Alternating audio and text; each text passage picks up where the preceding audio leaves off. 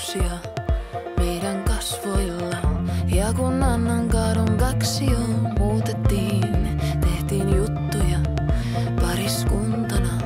Silti myöhemmin ouesti harmittaa, miksi piti luvata, että saa kuvata.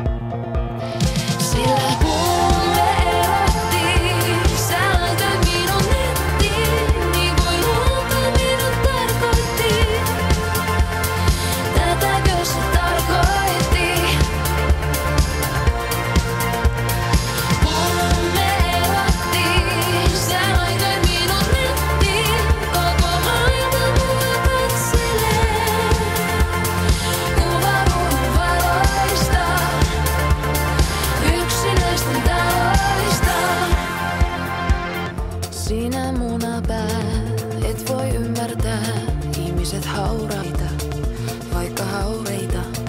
Tietyt asiat on hyvä pitää itsellään, pienessä piirissä ei jutut leviä. Kaupan kassalla myyjä tuijottaa, onko nähnyt hän jo jotain.